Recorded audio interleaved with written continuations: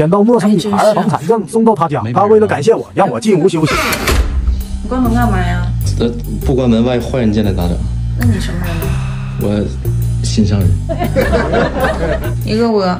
我不饿，我就有点渴。你渴了？对我渴，老渴，你给我整点水呗。行，那你等会儿啊。哎，那常温的啊。哎，嗯，铁子，你管那个叫水啊？那没别的了，矿泉水都喝了了。操，行了你炫儿了？啊。擦，大姐，不行了，不行了。你是真渴呀！我带你起两瓶。